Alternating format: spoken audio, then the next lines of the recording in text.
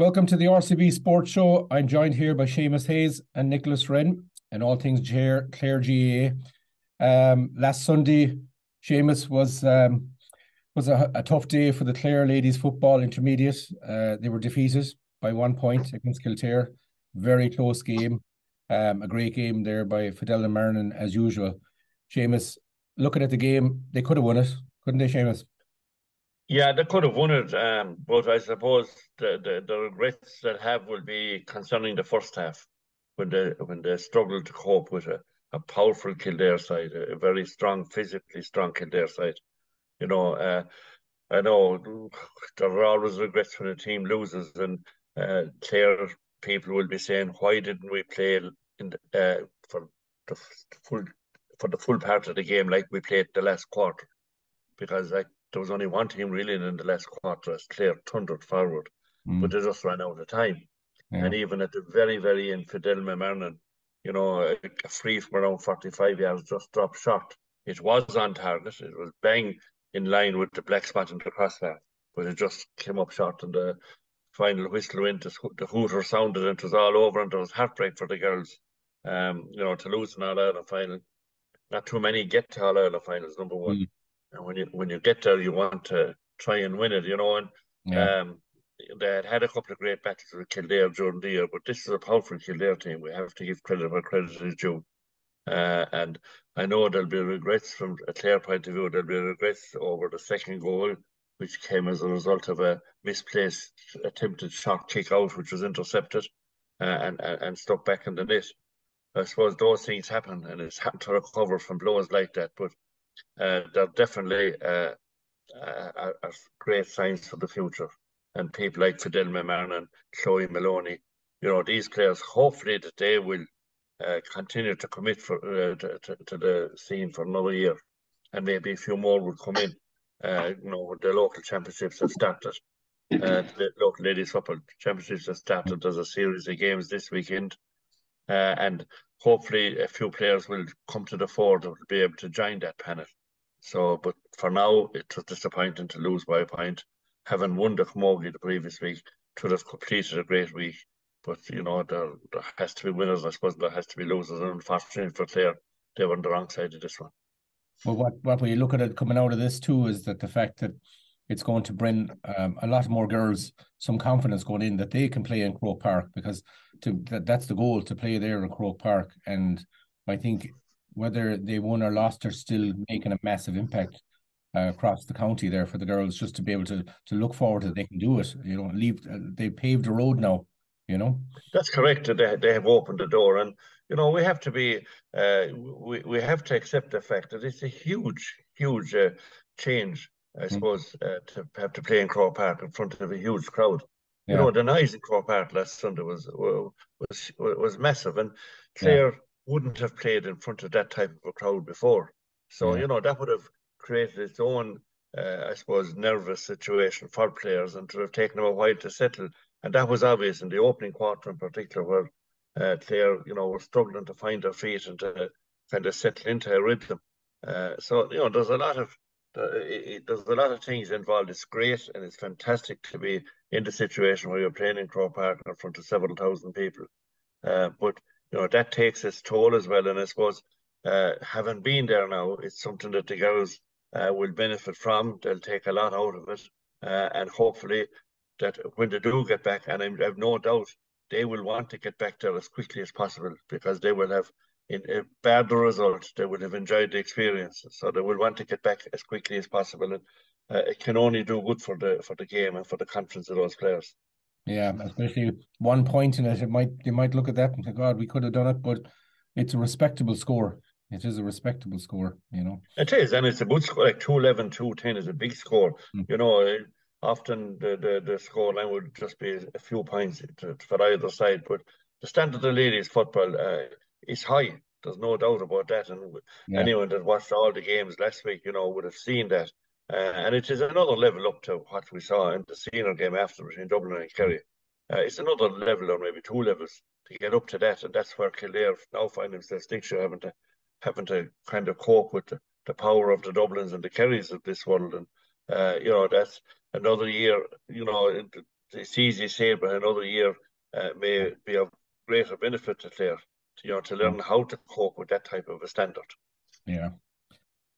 You know, we can look forward to next year and it'll bring forward many other stars too as well. And they'll be back. They'll be back and be back with all guns firing as well. Um Nicholas. Yeah, there's no there's no doubt about that. And you know, yeah. they have to put it behind them. They have to put it behind them now. The first yeah. rounds of the county the county championship are on this weekend. Yeah. So they're all back with their clubs this weekend. And it will be hard for those girls, you know, to maybe come down from the high of last Sunday of playing in Croke Park in front of several thousand people to playing in front of a hundred or two spectators uh, as they get the club scene uh, underway. But uh, you know that's that's the, the the life of a GAA player, be it in men's or ladies sports, and you know the the the, the size of the of the crowds vary from week to week, and the atmosphere varies from week to week, and we've seen that with the club hurling and football championships. You know, the after mm. a kind of a quiet enough first round, interest is really shot up now. There's a lot of crucial games over the next two or three weeks. So it'll be the same for the ladies this weekend uh, as they get their season underway. Yeah, and not like professional sports, they're fueled. It's an amateur sport, and they're fueled by the passion and the and the parish and the community. They're not fueled by the paycheck as as other sports do, you know, and they're not fueled by brands. It's raw. They go out in the field. That's what I love about the sports GAA. They, they go out there and they play, and there's no there's no sugar coating it. You know, it's just just the grass, the players, and the game. You know, that's what I love about okay, it. Yeah, yeah, you're you're dead right. Like you know, the it's it's, it's playing for the the guy down the road, and mm. you know, to have been the big talking point for the last day or two throughout the parish, uh, wherever you're from. You know, your local parish, they'd be talking about the opening round of the championship this weekend and how they might do. And yeah. you know, there, there'll be a lot of girls playing in this that can only dream of being on a county team. Yeah. And this is where it starts. Uh, you know, this is where it starts for them, and they could be the stars of a Nalana win in a couple of years' time. So uh, there's a there's a lot of, uh, involved and a lot of at stake, I suppose, really. But uh, that's the scene. It's the club scene now from now on, and hopefully uh, teams will give good accounts of themselves, and they will. I've no doubt we'll have some great games. I've no doubt in the world we'll have some great games. And going forward, uh, Nicholas, we had last week we had another round of the championships in the hurling. And again, obviously more shocks to the system there. Um, unfortunately, uh, on your side of the country, as hard as it is to say it, but Inagh Kilnamona defeated again, and now they look they're down and fourth on the table. Kilmaley sitting there in their group anyway with Scariff and yeah. um and of course there were wins and defeats across the weekend as well. You know, um, first of all, what's your feeling not yeah rub salt first, into wounds, but yeah. First, first and foremost, I think it's, it's a discredit to Scariff to say it was a shock because it absolutely wasn't a shock. Yeah. You know, Scariff for the common team. Yeah. They have uh, made, they won the intermediate a few years ago. They came up mm. and and then that was backed up by an under 21. They won the under 21, which is a huge bonus to them. Like, and they fade off that. Then they have young players coming in there, 18, 19, 20 years of age as well joining that panel, like uh, uh, uh, which was already strong enough to win intermediate and and, and to stay up at senior. Mm. So I, you know, the sh- I, I wasn't a shock to me. It was a disappointment, obviously, but not a shock by any means. I, I, I the, Kilnamona were three to one. I killed the Kilnamona were three to one on. Mm. I, I, I, I, you know, I, I wouldn't back against my own club, but I mean that was a fantastic, that was a fantastic um, price. I couldn't believe that the bookies would get would be so far wrong to give that kind of a price. But uh, you know, it, it it was a good game by all accounts. It was frustrating if you're an Kilnamona man, but uh, you know the goals we copped up, and you know Patrick Ryan scored three three goals, and there were three good goals, and they were scored on merit. You know, and uh, Mark Rogers obviously uh, got a goal from a penalty in, in the very early on, set the trend Patrick Ryan got a goal in the second half, which was probably it was a stray pass from an Inagh Kilnamona player. When Inagh Kilnamona were at their at their peak, I suppose, in the game, they reeled off eight points in a row, six before half time to get them back to three points, and and and two after half to get it back to one point.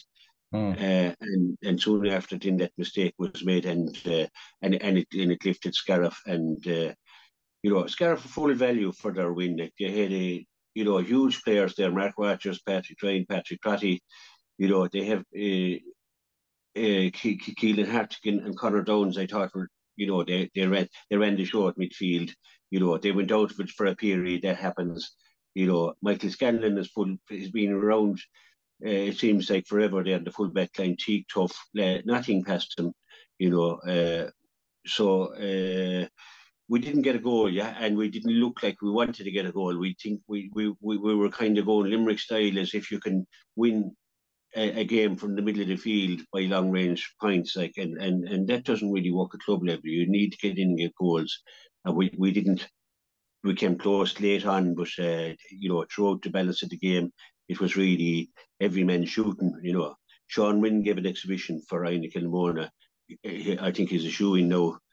Uh, to, to, for the Clare panel, like you know, he was he was just uh, magnificent, as was Conor Hegarty, you know, David Fitzgerald, you know, the county men. Uh, but uh, Shane Vaughan got a couple of, you know, uh, Shane Woods.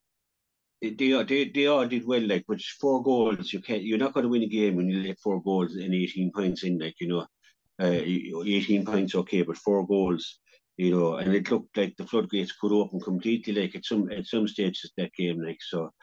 You know, full credit to Scariff, a great win. I think Kilnamona put up for I suppose twenty minutes of that game. They were absolutely excellent, and, have, and I have to say that as well. Like they they played brilliant stuff. The points they reeled off to get themselves back into that position where they could challenge for the game. But mm. uh, this, I suppose the, when they copped up that late that second half goal, their their challenge fizzled out and and their year uh, has fizzled out as well. Almost certainly, you know, at this stage would take a, a miracle because uh, they have to head to head against Scariff and they head to head against Ballyea. So at this stage, they can only, I think, uh, get four points, and it wouldn't be enough, you know. So it's back to the drawing the drawing board for them, fortunately. And you know, it's, uh, it was probably not expected to find a Kilmore, given the fact that they were in the county final only only a couple of years ago. But yeah. but uh, I I'm not too sure. They don't seem to play for me.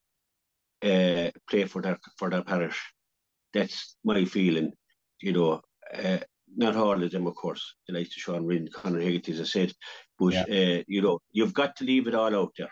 Mm. Not just for 20 minutes. You've got to give it 100%. You've got to back up your teammates. You've got to play as a team. And yeah. I think that's lacking somewhere along the line. Whereas Scariff, you could see the intensity from Scariff. You can see what they that they wanted to win the game, no matter what. They were willing to do anything. They they were on the borderline a couple of times with tackles. They weren't dirty. I'm not saying that. What what I'm saying what I'm saying is they gave it hundred percent of what they had, mm. uh, uh, and you have to credit that. And you have to admire that. And you could see Donny Maloney in the sideline. You could see Mark McKinnon, the manager.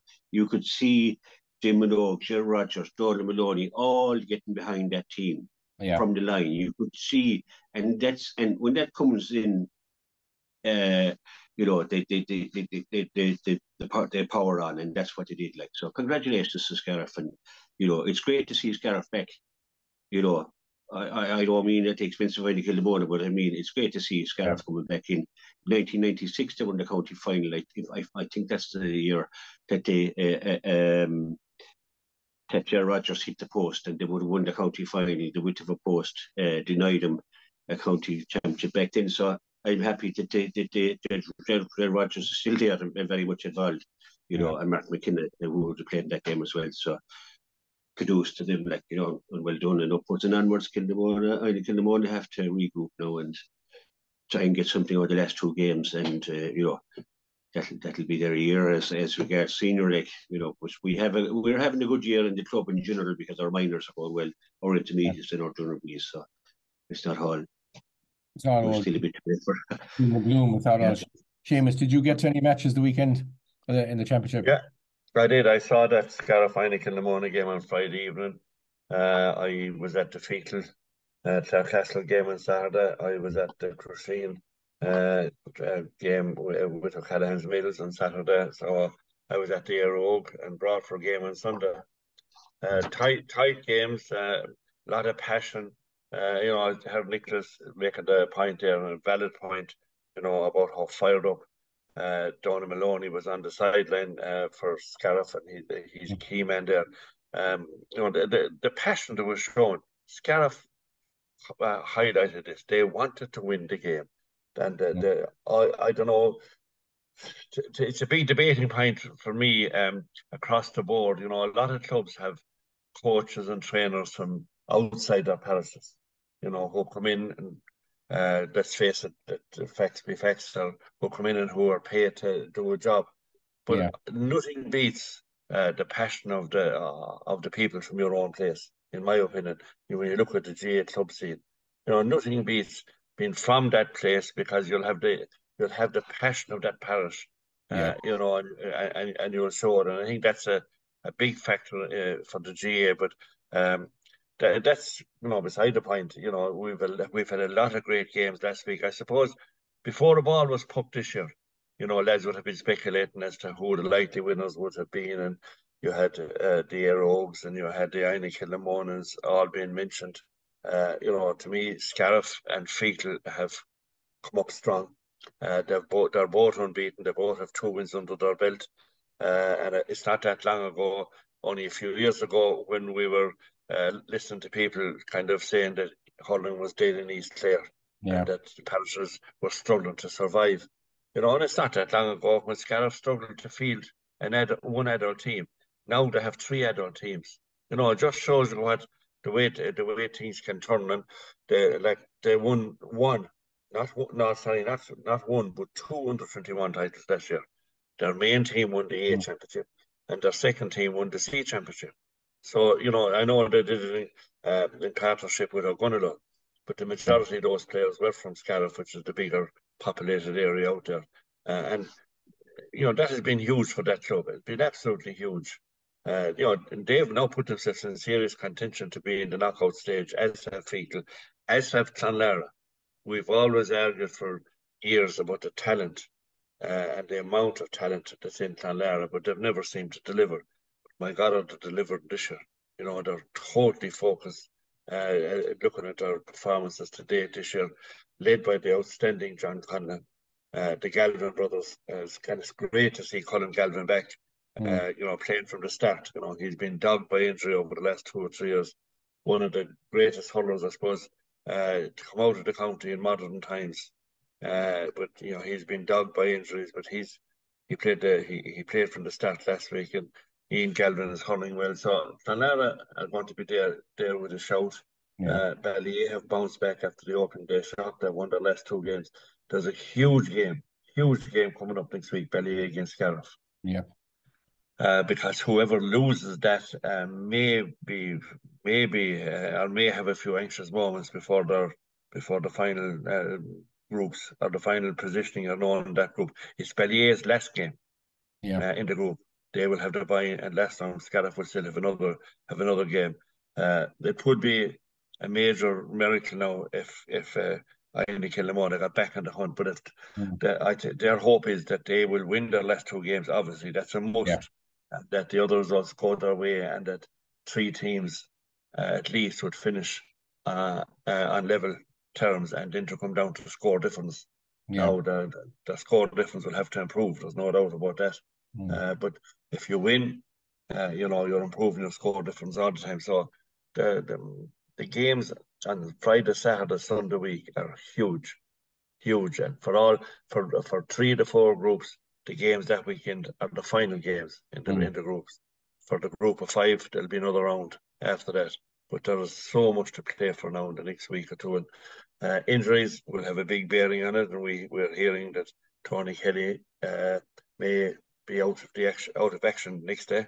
Uh, and if he is, that would represent a massive, massive blow to yeah. Ballyea and obviously all their hurling fans will be hoping that he's that he's not because he's such a talent and he's so important to their hurling. Uh, no, but he could be out. Clooney-Quin, uh, who are another of the teams that were being tipped mm. to be in contention, were beaten last week uh, by Newmarket. They're down Ryan Taylor, who's out for the year with a crucial injury. They're down Callum Hassett, who got a serious leg injury in the opening round. Uh, and the next day, it looks as if they'll be down Peter Duggan, who was sent off last week. Uh, you know, and unless he can get that card overturned, uh, he'll be an absentee. And for any club to yeah. miss your, to, to, be without your two county men, uh, mm. you know, your senior to count him in, will be a massive, massive uh, uh, blow. So it puts the pressure really on Clooney-Quin now uh, yeah. as well. And uh, they need to win now to get to bounce back. So um, there's an awful lot to play for yet in this championship. You've been hearing too as well that Tony is injured. I mean, there, there there's lads, there's a lot of injuries across the board that seem to be popping up as well in the championships. But that one um stands out the most because Ballyea have have lost quite a few lads that they had last year in their county champions team um through immigration and stuff. So now losing Tony is really going to put a bit of pressure um on the squad going into Scariff's game. Do you think there, Nicholas? Yeah, uh, Tony Kelly's a huge loss to Ballyea, absolutely. Um, you know, and, and a huge loss to us people who love to go along to Cusack Park or wherever and see the great hurlers and you know to see Tony Kelly, especially in Cusack Park playing for Ballyea is a sight to behold. You know, any time well worth the entrance fee. So yeah, a huge loss, a huge personal loss for Tony to be injured again. Hopefully it'll heal up quickly and he get back onto the playing field soon. You know, we wish him the very best you know, I suppose I have to mention today that McCarthy was injured as well and didn't play Friday Kilnamona, and and that was a loss. But uh, you know, not making excuses. It was it would it, you can't make excuses. You have 15 on the field, which you know there is injuries to, to players, and and there seems to be a lot of injuries. We've been down this road before about this these injuries. Uh, uh, unfortunately, you know, for those guys like you know Ryan Taylor, huge loss, uh, such as you know, and I think the injury he got was unnecessary. I think the you know the word is that you know the, the he, when they were playing Kilkenny, he he he was he was targeted, and uh, and um, and that's and that's a shame. Like for any player to do that to another player, but that's that's the way it is. So losses will come. There'll be more injuries. You know, Seamus mentioned uh, there, John Conlon. If you were t- if you were coaching the young fella beyond in the field today, you needn't look past John Conlon. What that man gives to the game, uh, uh, in this at this hour of his career, still yeah. he scored nine points last week. He was colossal. He was back in defence. He was up in playing the back in defence. That's the type of hard time uh, that I want to see my club bringing into my club, like or any club for that matter, like you know, and into the county team. He's he's just. Uh, uh, I, I think John Conlon's been the greatest player hurler of all time, and that's saying an awful lot. You know, you know, okay, Tony Kelly, fantastic hurler, but I mean, for heart and guts and sheer determination, he's been doing this since 2009. He's still in 2023, given his whole heart uh, from like we bowed out against Kilkenny. You know, a lot of players licking their wounds. John Conlon puts on the Clonlara jersey, and what you see? you see the, the whole man comes out again like in him, and that's that's what he's brought to Clare for the last uh, for the last 14, 15 years. Like so, uh, you know, he's a great role model for me. You know, but, um, it's been an interesting championship so far. You know, with with teams that we thought might do a little bit better, and teams that we weren't too sure of. You know, Newmarket for me and Feakle are the two teams that really have shown up there. Like obviously Scariff is the obvious one, but Newmarket and and uh, and uh, for me have really shown up. Like you know, and Broadford are, are battling well there as well. They were very unlucky against their home, you know, and they need a result now the next day. The next day out, it's going to be very interesting. Like, and they have progressed a lot too as a club. You know, came up to, from intermediate as well. Like, and they have kind of cemented themselves in there now, and they're getting results. And, and you know, so those are the teams that are sending out for me so far this year. Probably the teams at the beginning of the year, you know, and you've got to hand it to Ballyea. I see you're wearing the Ballyea colours there, but you have to hand it to Ballyea.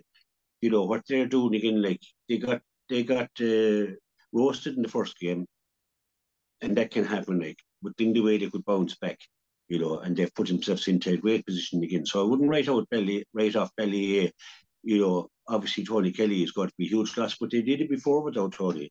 You must mm. remember that as well. Like. Mm-hmm. So you know, but the speedy recovered to Tony and, and, and Ryan Taylor and, and, and, Ed McCarthy, you know, we want to see them. Them are the fellas we were, we going to, well, we going to see them all, like, but they're, yeah. the, they're the pluses, like, you know. Would be great. I mean, maybe there's a possibility with, with Gary Brennan coming back into the scene there, like, for Ballyea, would, but I'd say it's putting a bit of pressure, yeah. like, you're putting lads in dual players, uh, um, yeah, it's kind of it's hard to come back into the club uh, when you've been out a while, and it's hard. Um, I, am sure Gary what mind me saying is like he's coming to the end of his career. He's had a stellar career, especially at football. You know, you know, yeah. absolutely brilliant. Played for Ireland, everything. He's done everything in football, like you know, and he's done it with with Ballyea. He's been a huge asset to them. You know, but they will need him. Hopefully, he'll be able to come back and he'll be and he'll be fit, and you know, he'll make a big contribution as well. Like he would, he would fill a lot of the voids for certain. You know, a player of his and you know his experience as well and Gary Gary's another guy who gives it everything when he goes out. He doesn't go out for the, you know, for for, for a look in. He, he gives it everything. You know, super Gary, super. Gary's presence. I, I I seen it last year when Clondegad were beaten and Gary came in. His presence on the pitch, uh, know, yeah. is, is is just it'd be yeah. similar to John Conlon when he's there. With he, because yeah, he was a one. He's a one off. Yeah, yeah. He Gary Brennan was a one off. He was an extraordinary player. Yeah, you know, he was in, how many games did he pull out of the fire for Clare in the football? How many did he? I, will we ever forget the run he made against Thurles in the Munster Championship? You know, it brought him all the way to the. For that run he made when when Thurles started the game one, he rendled into the pitch. Nobody, nobody, the best Thurles had, and they had great undercounted players could stop him and burying yeah. that. But I never forget that. It was a, you know, one of the great days in Clare hurling you know, for Ballyea, like, you know, yeah. for everybody in Clonburn as well. It was a really, you know, so it, and there's been great moments like that for Gary. I remember him above against Westmeath when in in in in a, in a championship game, and at the end of the game, there was only I think there was only a point in that Clare were up, and he leaped into the sky and picked, you know, back in the defence yeah. and, and and won the ball and won the game. You know, moments yeah. like that you'll never forget. There was other great moments like you know, and the man is still playing. Well, There'll I, be more moments. It will be, yeah. And I, we were just wanted to mention too, while I have Seamus still here with us. Um, so last weekend now we had our championship, but going down to Junior C, I wanted to give a mention out to Kilkee because I was there myself uh, in the ben- in the bench, and Kilkeen went up against Killanena um, about uh, last Saturday night, and twenty six lads showed up, and they played a cracker of a game. They led from the beginning and speaking of dual players, we had a few lads there from the Ovone, Niall Bonfill, Thomas Bonfill, um, and their cousin, um, who's just come into the ranks there, uh, Kieran Bonfill, and along as, as as well as Conan Fitzgerald, uh, Kieran Corey. But it was watching them. It was it was a pleasure to watch. Some great hurling. The scoreboard was four eighteen to four oh five, four goals each. Now there was there was two goals were dropped in from sixty fives um, from from Killanena, but it was a great game. I, I I have to say now Kilkee, like you said, we talk about East Clare, but Kilkee wouldn't be a hurling town. And I know it's junior C, but it was a great game to watch, and I was proud of the lads to see them there. And I wanted to, um, and Seamus, we were just talking about it probably there the other day. You, you'd know some of the lads that would be familiar with the with the uh, football Climber boys playing there, but it, it, wouldn't be no surprise that they pick up a stick and uh, there was some great stick, great hurling, great hurling there from them. Yeah, there, there, there's a lot of talented athletes on that, and I suppose you know uh, a lot of athletes kind of can become uh, efficient with every sport. Yeah. You know, when they play it. But I, I think it's huge for hurling that Kilkee Bella won that game, not knocking Killanena, but Killanena is a hurling stronghold. You know, and I think that for the sake of the game and the spread of the game, it's important to have a hurling club going well in West Clare. And you know, on this weekend in that same championship, uh, Clonbony uh, will uh, will be in action. You know, and they're, and, and they're they're Milltown based. Yeah. And, and they'll be they'll be in action this week now. Or next is it is it? And sorry, next week uh, they'll be in action in the in, in the first round of the of that championship. You know, and that's something that they will be chasing. They'll be chasing to try and they're playing the banner uh, mm. for Ennis. Uh, and uh, obviously, Clonbony will be hoping that they can match what Kilkee Bella have done. And who knows, um, maybe the final of that championship will see those two West Clare clubs in opposition. But um, either way, it's important for the game of hurling. It's important for spreading the game uh, that um, teams are going well from those areas. Uh, you know, it was great. It was great to see that. And I, I Conan Fitzgerald played a lot of underage hurling with Kilmaley he's a talented hurler. Mm. Uh, you know, and he's a he's from Kilkee. He's a big asset to his home club back there now, mm. uh, and I think he plays football with the club as well. And uh, Kilkee had a big win in the open round of the Zona Football Championship. That's right. Uh, two weeks ago as well, and uh, you know they're back in action in round two this week because it's all football this weekend. So, um, you know, it's just it's it's huge, and it's great to see all these fellas uh, giving the support. I suppose that was one of the things that Kilkee Bealaha and Clonbony have struggled with over the years is getting commitment and getting numbers. Mm. So it's great for what you say there to have 27 or 28 players uh, yeah. on the line and tugged out, and a win will do wonders for that to yeah. drive more on, uh, you know, to get lads to to you know commit and give a give a the, the commitment that's required, and it's, it's great for the people in charge, the people like Mick O'Neill, you know, who have been doing a lot of work to promote the game back there. Yeah, and and uh, they're in Colin Clohessy as well, who is now selector there and, and working with the lads as well. That was great, and um, I just need to pull you. I need to pull you on something there, uh, uh, Hadrian. Yes. You said it was only junior C. It doesn't matter what yeah. what grade you put on a jersey for your club and you yeah. go out and give it your best. It doesn't matter. I'm happy over that field watching under eight or Mm. It doesn't matter what I, or, and I love watching the young fellow who mightn't be the best, he mightn't be the Tony Kelly or the John Conlon, but he gives everything he has. And that's the beauty of our sport is that you get guys who they mightn't be the bright lights, but they're given. They, that's the guy you love. Derek Lane always loved somebody with character. He yeah. wasn't always about the best, the best order. The other thing is, you've seen Clonmully. I, I I've seen Kilmihil do well in underage hurling, and then they, they, they drifted away a number of years ago. Uh, Anthony Daly did a lot of work. I think now it's time for the county board to get in there and and go to the Clonbonys and and and, and go back to Kilkee and say what do you need? How can we bring you forward? What help do you need? You know, you can, you, and that's really what they need to do. It. There's no fear of Killanena.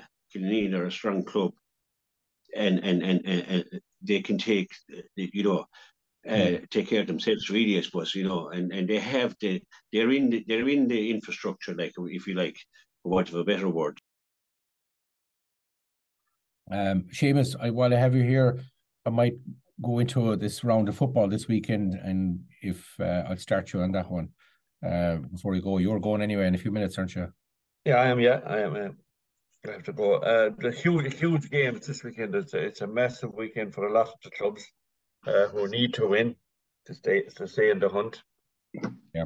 Uh, you know, St. Breckan's, uh, who would have been one of the teams tipped at the start of the year to be in the concluding stages, mm. were beaten in the opening round. So they find themselves that they must win against an up and coming St. Joseph Doora Barefield side, you know, who have a lot of young players, but who are going well. You know, they won their league, uh, Division Two, the Gary Cup, and they had a great first round win uh, in, in, in the championship over a fancied Corofin side. So there's a lot at stake there for St. Breckan's. Uh, but and Milltown, two teams that many would be tipping for ultimate honours, uh, and Óg going for three in a row, the hottest of favourites. Uh, they meet in Cooraclare on Sunday. They're both uh, going in with a, a, win to their credit uh, in, in, in the opening round.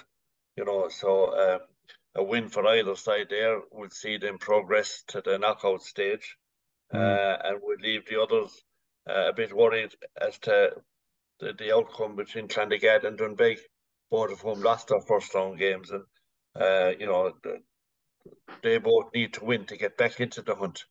Uh, Clondegad will probably be seen as the as the fancy side, uh, but they've struggled a bit in recent weeks. They had a great start to the league, won their first three or four games in the league, and yeah. then uh, fell back a little. You know, injuries have played a part there as well. They've lost a few players to injury.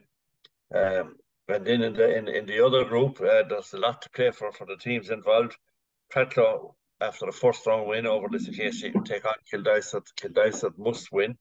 Uh, must win to well, they need a win to to, to increase their chances of qualifying. Uh, yeah. Uh, having lost the first round. Same for Lissycasey, who lost narrowly to Cratloe in the first round.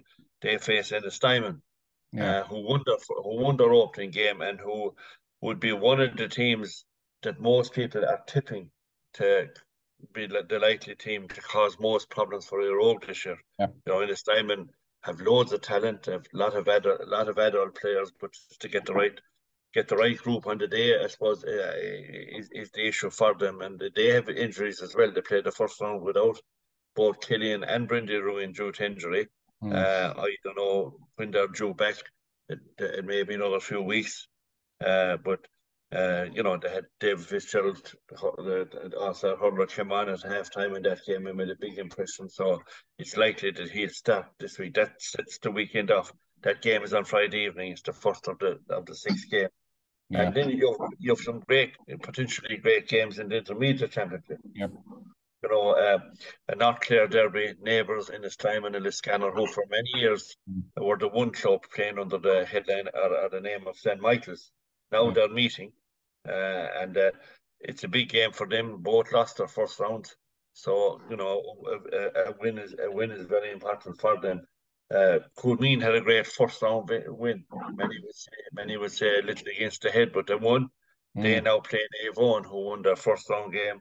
You know, there's a, a great battle uh, likely there. Uh, Coolmeen have had the Indian sign over Avon a bit in the past, so yeah, maybe they'll be hoping to, hoping to kind of that. Could need to get back uh, in the in the race, so they'll be uh, expected to beat Kilfenora, who are struggling a little for numbers and yeah. who uh, the loss of Keane O'D is massive to them. Yeah. He has immigrated and he would have been their key player, so he's a big loss. Kilrush and the Banner, two teams that won their first round games. Kilrush, tipped by many now as the likely winners of this championship. Uh, so there's a lot of stake there. O'Curry's and Kilmihil. O'Curry's uh, surprisingly lost their first round by seven points to to uh, Wolf Tones. They mm. faced Kilmihil, who were held to a draw in their first round game. Yeah. You know, so um, that'll be an interesting game there, obviously. And then Wolf Tones uh, and Shannon Gaels. Uh, you know, so there's an awful lot to play play for, and that's not even to mention the Junior A and Junior B and mm. Junior C championships, all of which will, will you know will, will, will, produce their own excitement. So uh, it's it's a big weekend for football starting this evening uh, and running right through on the Sunday evening. Yeah, it's going to be. You, you couldn't possibly get to every game with everything going on, and like you said, every every game counts. Like Nicholas was saying earlier, even like he was capping on Junior C, whether it's football or hurling, both have um both bring the best out of everybody. You know, they bring the best, and I think even more exciting Junior C football and hurling can be a lot a lot more exciting than uh, yeah, definitely. And you you you know you'd have to feel for the dual players, you know, because there's no break for them. You know, there's an awful lot of those players. They're key to both hurling and football with their clubs, and you know you see it with the Aero Oaks and the Crattlers and the St Joseph's, Doora Barefields, the straight dual clubs that we call them. Uh, you know, you'll see those. They this week past now up to this evening, up to today, they've been focusing on football.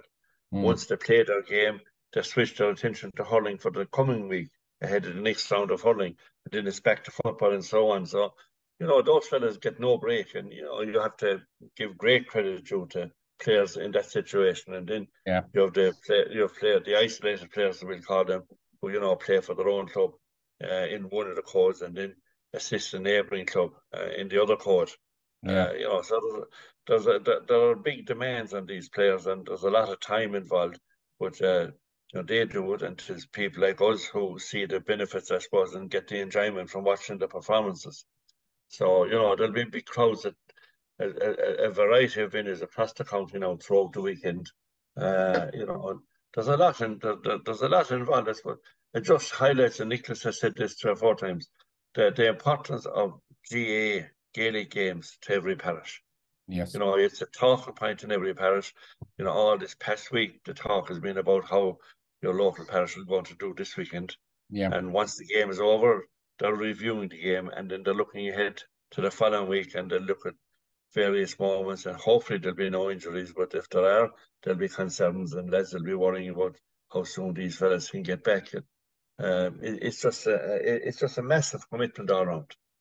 I saw it down uh, yesterday uh, we travelled down to Semple Stadium, or travelled up to Semple Stadium with uh, a bunch of under 11 Kilkee lads to play hurling blitz, which I played three three games. And when you walked in there, it was the, the crowds of kids. It was it was unbelievable. It was the excitement they had. They're up there.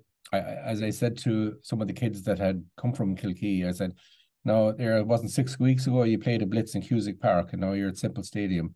I said back in my day, going back a long time, that the only way you'd have gotten it into Semple Stadiums if you had a Clare jersey on and you were playing there for or, or uh, playing for your your club, you know, in a serious game. It wouldn't have been it wouldn't have been had those opportunities for kids. But it's it's you could see their faces when they were going out there and the excitement and it was it was they had three games, three blitz games going on at the same time on the pitch, and a great turnout too as well. And um it was just exciting, you know, to travel up on the bus and and it's great for them too because they're it's their someday it'll be their turn, but they feel it now. You can see them. They, they, they to them it's very important as well. They may be little kids, and there was talks at one time of removing competition for I think it was under 12s. But if there was any proof that you can't do that, that was yesterday in Semple Stadium. It was unbelievable. I talked to many officials, and that was one of the topics down there was that this is so important for these kids to be able to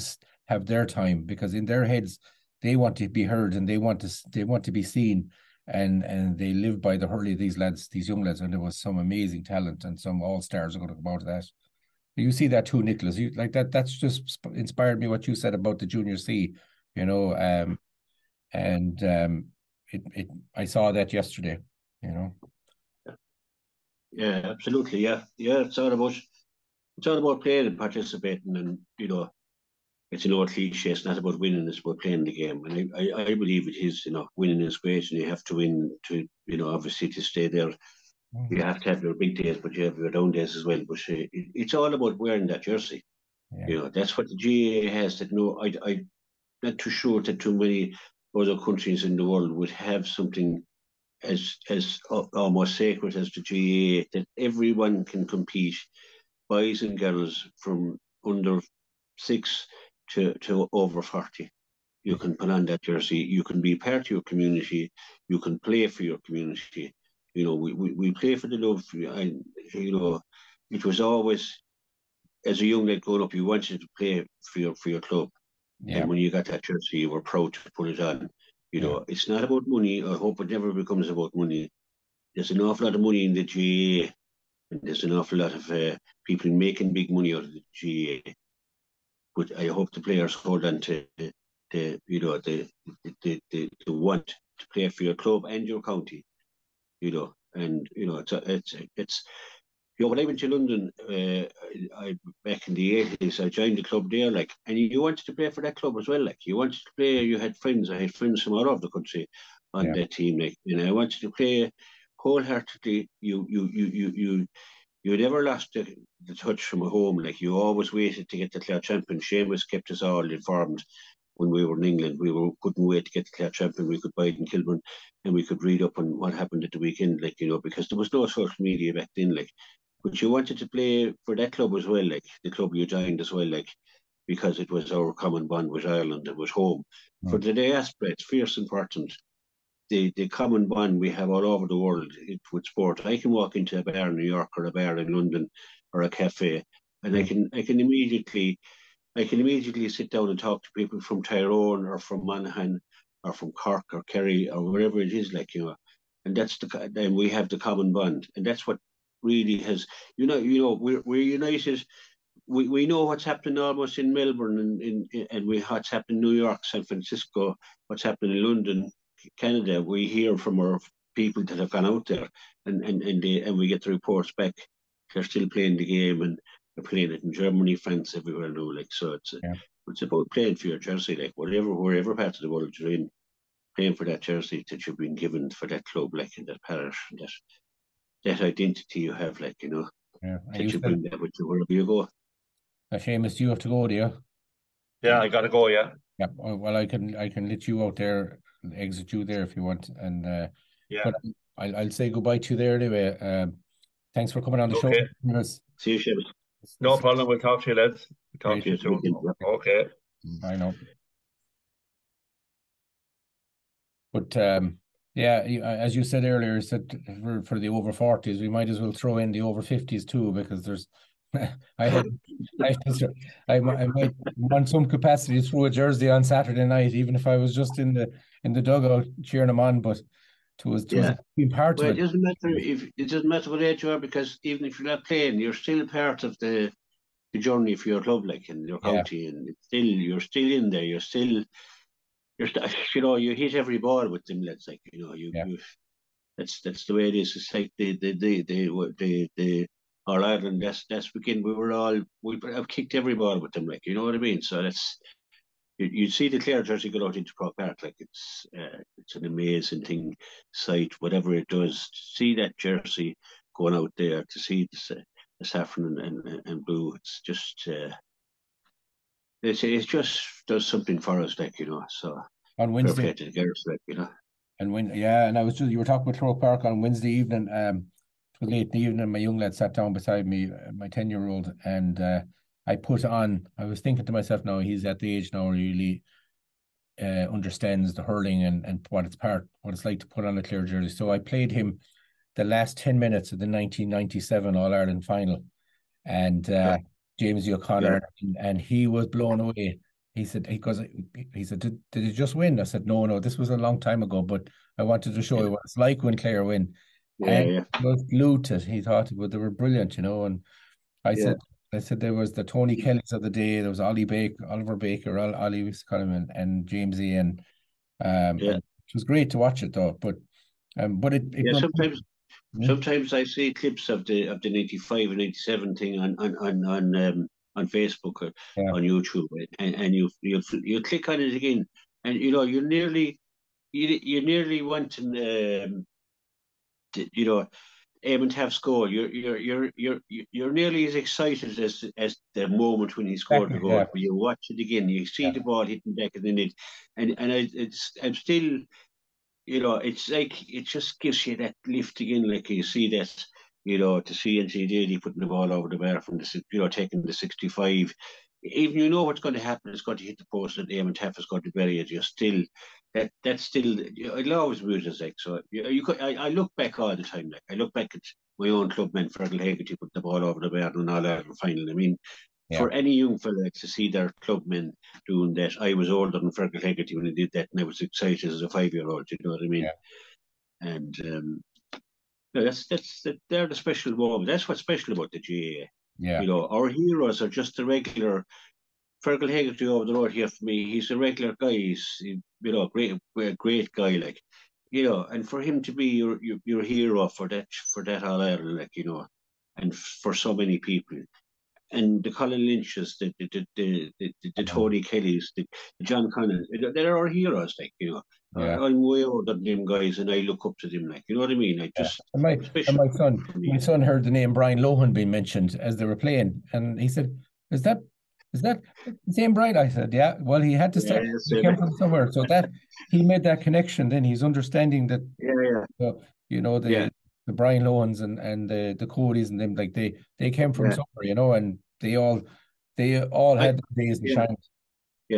I see John Commins there, he's a former he won an Ireland with, with Galway and goals and he's a salesman. He's often down in us there.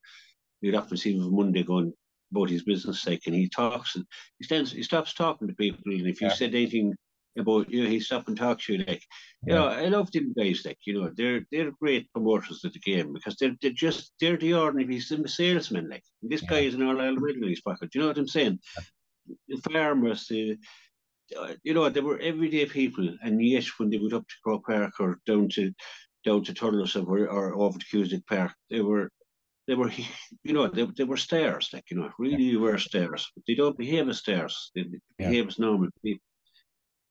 Another thing that the GA gives that no other country can give, I believe, um, and I may be wrong, but somebody can argue that one. But when you, I, and it was a tourist that said it to me. So, for example, in America, they they'd have stars as well. So there's no way a child is going to be able to stand outside the dressing room and the the, the these stars. So, like for example, Cusack Park, my young lads stand outside Tony Kelly, and he same there when they played against Inagh Kilnamona up in Shannon uh, all these young lads out there, and they were going. They could, they had a pick of the crop, and the lads came over and they were delighted, and and they were heading off. They might be heading off now to, to their families or whatever, a cup of tea, and they weren't heading off to get into their Maseratis or anything. They, they this was their, this is their life, you know, and uh, they give that, and you don't get that in other countries.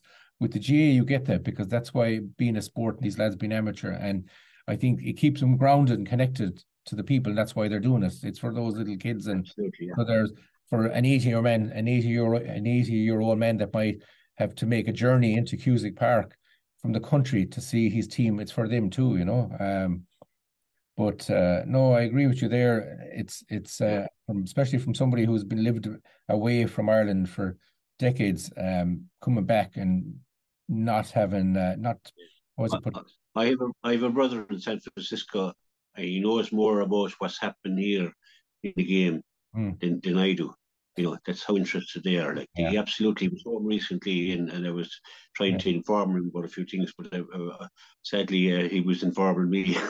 he knew more about the game, and I, I remember telling him about something. Yeah, he says, "I know." He said, "I saw it." Like you know, well, they watch all the videos and all the matches, and uh, you know, so. There was a time when I was abroad, you wouldn't have been able to that. You would have had somebody to organize this channel that was called Setanta, and they had to put the money together and find a pub. And at eight o'clock in the morning, we had tea and instead of pints, we had tea and sausages to watch in All Ireland, you know, um, somewhere in the middle of Minneapolis. Um, yeah. That was how we did it, right? But we wouldn't have been able to watch. We saw, we saw a guy in Kilburn Hyder with a transistor radio, and he had the he had the aerial onto a steel lamppost to oh. see what if it would, it would improve, and his ear to the radio, and uh, anyone, an Englishman person would say this this guy needs to be taken to hospital immediately. But you know, it's how much he wants to get the result from Ireland. Like, you know, he wants to hear the game. So. Listen, I want back in the days when you know there was no yeah. digital, no nothing, so very hard to, to you know. I, I'm Pascal Daly, God rest his soul, Anthony Daly's brother. He was a bit, uh, we were great friends in England. He told me that he rang home. Uh, his mother put the phone to the radio so as he could hear the radio when Anthony made his, I think it was maybe his debut game or one of the championship games for Clare anyway. And, you know, he was telling me, I, I think the brewery might have picked up the tab, but, you know, that's how much it meant. And and for a full hour there, he was listening to the, his phone and getting the, getting the, uh, getting the, the, the commentary of the match and his brother playing. Like, you know, I, you know, I remember him telling me that. It's just, just fantastic uh, story, really, like that he would go to that limit to get to to get to, to hear the game.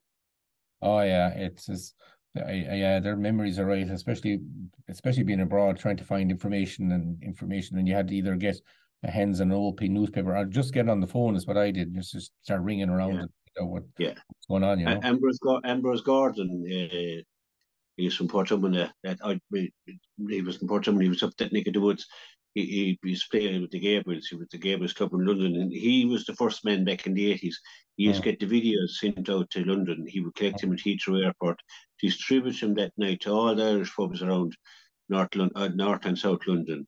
And mm. at, you ten at 8 o'clock at night, and you were hoping somebody wouldn't give you the result if you didn't know, you know. So you could watch the game and, and you you could watch the match. You know, it was a great service you know, Ambrose was a kind of a, an entrepreneur, yeah. into an entrepreneur, like, and you know, that's that's what it was like back then. Like, it's now it's instant. Yeah, they want to see it in their phone before the game is over. They want to hear the interviews on the way out of the match. Like, you know, it's, yeah. uh, it's the way it's got. We had to wait till Monday evening sometimes to watch those games. Mm. You know, mm. if the video was late or whatever, it might be Monday evening. You go down to watch the match. It was all part of it, like you know, that's yeah. the way it was done.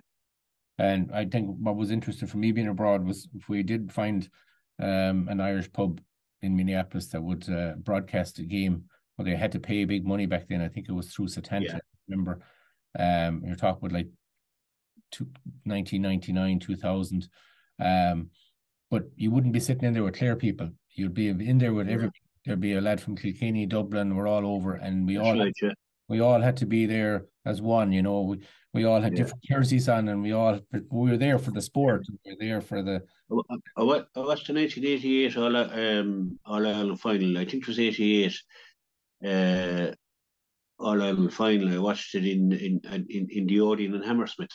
Wow. You know, so you know you went down, you paid your whatever five, ten, whatever it was that time, like you know. Mm. And the place was full, like you know. And yeah, it was great, big screen, and it was great. It was great atmosphere you know, and really enjoyable. Like so, just you know, that that's what you had to do. With them Setanta was great when they came in because mm. the pubs could at least you could go down to the pub to watch the game live then and stuff like that. Like so. And did you have to pay? Did you have to all put in the pool to pay for the broadcast? Is what we did anyway in America. Well, uh, the in the Hammersmith Odeon was done by the Hammersmith Odeon in conjunction with the GA. I presume you had to pay at the door in, like whatever. I think it was ten pounds or whatever at the time. But uh, the pubs, no, the pub, the publicans paid because you went down and you drank your fill, and they got their yeah. return that way. They got a big crowd down on a Monday night, which would be quite nice otherwise, but they got everyone down to the pubs. So yeah. uh, only a select few pubs as well, like you know, and not every yeah. pub showed the game. Like you knew where to go, like the Black Lion or yeah. Billy Mulligans or whatever, like you know, and, uh, we all gathered and watched the game, and we had a really crack, and that was we were young the time we could do it. Back to work Tuesday morning, we, we were able for it, but. Uh, that was a great thing, like you know. I remember when I played my club then in London. You go to the clubhouse, you went out and, and you hurled a hard game against the Gables or the Pierces or whoever, uh, you went back in and and, and, and, and, and you joined the fellas you were playing with. Yeah. And, inside the clubhouse and, and the fellas you played against. Yeah. And, and it was left out in the field and, and that was the way. We had a great social scene. Maybe be too great for some people, but it was it's not in the game as much now. That that uh, that bond as well after the game where we where we all made up boyfriends, girl, the girlfriends, the wives, the whole lot we, we were all one big family, like, and we met up and we stayed together and we ended the night together, you know.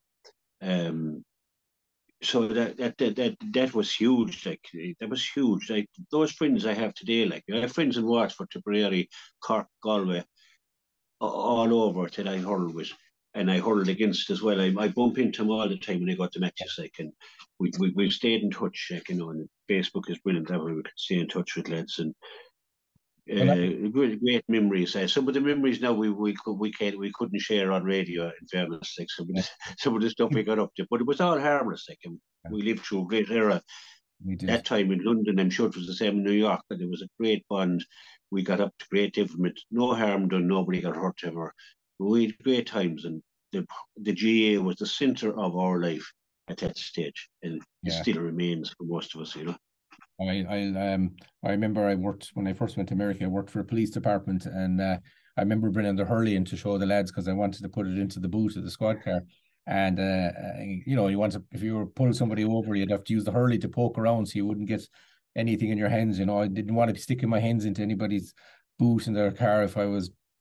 But I remember they asking me, "What is that? Like that's a weapon?" And I said, "No, no." That yeah. I had to explain it to them. It was unreal. But another thing too, um, that I noticed that happened me Saturday night. That now it was the last time I played hurling was uh, we pull on a jersey in Ireland would have been um, when I played for Ballyea as a young lad, like a tiny little kid, like you know. But um, but I mostly have had cycling my whole life, you know, and it's a different community and a different environment. Uh, but for Saturday night, I was telling one of the lads, I said um, when we were down in Kilmaley, you know, throwing on the jersey and being in the in the dressing room beforehand and listening to the speech, yeah, I I was able to res- have a lot more respect um, and insight to what goes on in the GA coming from a cycling world because I spent most of my life cycling because it's a difference. But to have them two sports and and to think about it and feel it at the same time because I still cycle, still involved in cycling, yeah, yeah, yeah. now involved in a hurling club. I, I was because some lads would only stick to hurling and you might play football, but it's not where you're going from two separate sports are completely different. And I found hurling more of a there's more uh, you know more friendship there. You've you've so many lads and you're very you're very connected. You know it is. Yeah. I'm not saying cycling wouldn't be, but um, you know cycling can be more of a lonely sport and dangerous. Obviously, yeah. as we heard what happened this weekend. Um, but um, there was a man killed there in in in Kilkee. But but but on the field, it was different. You know, I enjoyed it more with that. Yeah, yeah. Um, well, that comradeship is there. The the cycling, I would presume. No, I wasn't a cyclist, but I would presume it was more of a, a lonelier sport. Not lonely, but you were on your own. Yeah. I would imagine that your focus was with yourself. Whereas in, in a team in a team sport, you mm. you're looking to your you you you're going to get inspiration from your from your teammates, and, and if you if yeah. you're down, they'll pick you up, and if you're up, they'll they'll bring you back down. If you know what I mean, like and um, you know.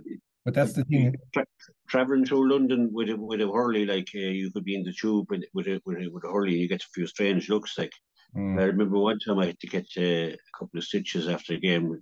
I didn't wear a helmet, and uh, well, you didn't have to at the time, but. Uh, I, I remember going down to the Royal Free Hospital in Hammersmith and uh, it was a it was an Indian doctor who treated me, and uh, he said to me, "What uh, what happened to you?" He said. So I told him that I got a bit of a hurley, leg. so. He you, you, you what is hurley here? You know, I was trying to explain a bit like I could.